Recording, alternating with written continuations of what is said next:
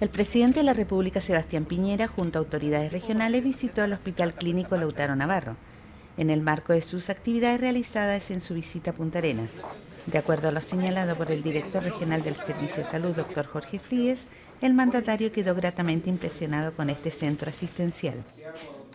El presidente quedó con una muy buena impresión del hospital, claramente note, tal como lo dijo él, un hospital de última generación y eh, mucho interés por saber muy bien los tiempos de inicio de operación. Se le explicó que masivamente el equipamiento está llegando en octubre y noviembre y que las posibilidades de cambio, estando con imagenología, va a ser durante la primera quincena de diciembre.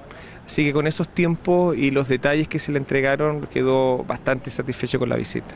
Señaló el doctor Fries que la obra está terminada y están en proceso de recepción en todo su conjunto y ya se están instalando equipos industriales y todo lo que tiene que ver con pacientes críticos. En cuanto a los servicios laterales como geriatría, psiquiatría, centro de rehabilitación, hogar de acogida para funcionarios de salud y jardín infantil, están dentro del convenio de programación, donde hay un total acuerdo entre el Ministerio de Salud y el Gobierno regional para continuar con el convenio que está fijado. En lo que se refiere a las inversiones para Puerto Williams y los diseños para Natales y Porvenir, ya existe un acuerdo con el Gobierno. Los servicios paralelos al ámbito hospitalario van a ser licitados en octubre, iniciando su atención junto con el hospital. Estos son cafetería, kioscos y farmacia.